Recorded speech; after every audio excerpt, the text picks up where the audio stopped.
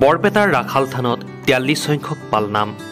বৰপেটা জিলাৰ বিলুৰতাৰীস্থিত ঐতিহ্যমণ্ডিত ৰাখাল থানত বৃহস্পতিবাৰৰ পৰা আৰম্ভ হৈছে তিয়াল্লিছ সংখ্যক ত্ৰিছ ঘণ্টীয়া পালনাম।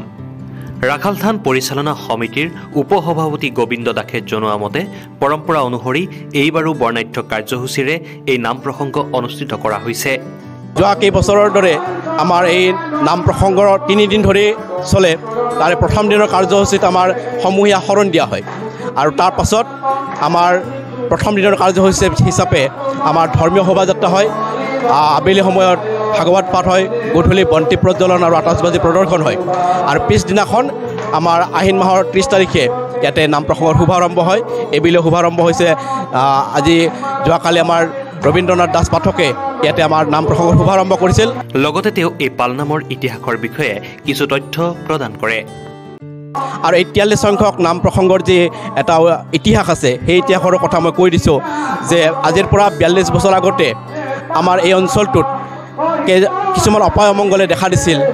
তাৰ লগতে কেইজনমান ডেকা বয়সৰ মানুহ অকালতে প্ৰাণ হেৰুৱাইছিল।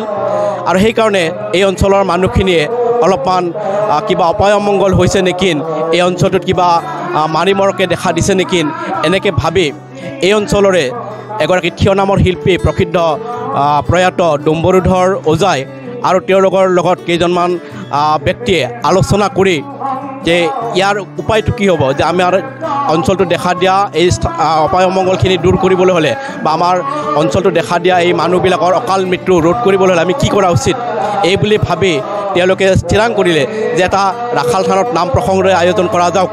এই বুলি তেওঁলোকে থিৰাং কৰিলে প্ৰায় বিয়াল্লিছটা বছৰ ধৰি অনুষ্ঠিত হৈ অহা এই পালনামে অঞ্চলটোৰ ধৰ্মীয় ঐতিহ্য ৰক্ষাত গুৰুত্বপূৰ্ণ ভূমিকা পালন কৰি আহিছে। উল্লেখযোগ্য যে চাৰিশ পঞ্চাছ বছৰ পূৰ্বে মহাপুৰুষ মাধৱদেৱে সুন্দৰদিয়াৰ পৰা বৰপেটা সত্ৰলৈ যাত্ৰা কৰোঁতে এই স্থানত খন্তেক সময়ৰ বাবে ৰৈছিল। বৃন্দাবন সদৃশ মনোৰম পৰিৱেশত মুগ্ধ হৈ মহাপুৰুষ জনাই ইয়াত দুটি বৰগীত ৰচনা কৰিছিল। কাটিকুচিলৈ আহোঁতে এইখিনি ঠাইতে জিৰণি লৈছিল। এইখিনি ঠাই সেই সময়ত দলিদাবাৰ পথাৰ নামেৰে জনা গৈছিল। মহাপুৰুষ মাধৱদেৱে যেতিয়া এইখিনি ঠাইত উপস্থিত হৈছিল তেতিয়া এই ঠাইখিনিত বৃন্দাবন সদৃশ এক বিতোপন দৃষ্টি দেখা পাইছিল। আৰু সেই দৃশ্য দেখি মহাপুৰুষ মাধৱদেৱৰ মনলৈ আহিছিল বৃন্দাবনৰ সেই দৃশ্যলৈ। আৰু যাৰ কাৰণে নেকি মহাপুৰুষ মাধৱদেৱে ইয়াতে দুটাকৈ বৰগীত ৰচনা কৰিছিল। আলো ভাই চলোৱাইশ যায় বৃন্দাবনে আৰু আলো ভাই গকুলে আনন্দ জয় জয়। এই ঘটনাৰ পিছতে এই ঠাইখিনিয়ে এক বিশেষ তাৎপৰ্য লাভ কৰে।